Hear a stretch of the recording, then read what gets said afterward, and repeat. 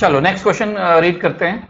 The ratio of numerical value of the average velocity and average speed ठीक है is always कितनी होनी चाहिए? एवरेज वेलोसिटी एवरेज स्पीड जैसे मान लो ऑब्जेक्ट यहाँ से चला, ये इनिशियल पॉइंट है, और ये ऑब्जेक्ट का फाइनल पोजीशन है, ठीक है ए और बी तो इसमें डिस्टेंस की वैल्यू और डिस्प्लेसमेंट की वैल्यू तो सेम होगी ना? सेम होगी. तो इस एवरेज स्पीड एवरेज स्पीड और, ठीक है, और एवरेज वेलोसिटी का मैग्नीट्यूड तो इसमें इक्वल होगा। अब, अगर ऑब्जेक्ट ए से चला इनिशियल पॉइंट से चला, लेकिन ये इधर गया और फिर वापस थोड़ा सा डिस्टेंस ए से ट्रेवल किया बी पे गया बी से फिर यहाँ सी पे आ गया। तो डिस्प्लेसमेंट तो ये होगी। डिस्प्लेसमेंट तो ये होगी। ये x1 मान लेते हैं, यहाँ से यहाँ तक की डिस्टेंस को x1 और यहाँ से यहाँ तक की डिस्टेंस को x2 मान लेते हैं। तो डिस्प्लेसमेंट कितना होगा? Displacement is equal to X one minus X two जबकि डिस्टेंस कितना होगा?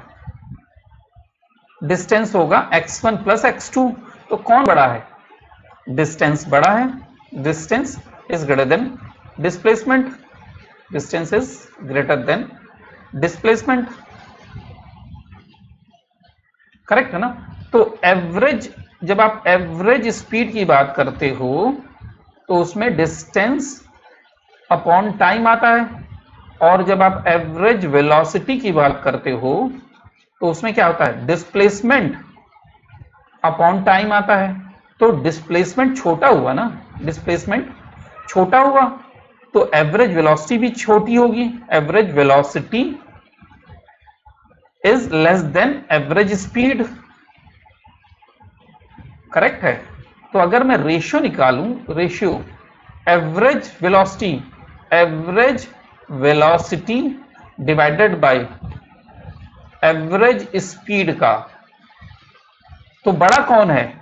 एवरेज वेलोसिटी छोटा है एवरेज वेलोसिटी ऊपर है, वो छोटा है तो less than or equal to हो सकता है ना मैक्सिमम ये case less than or equal to one होगा ना?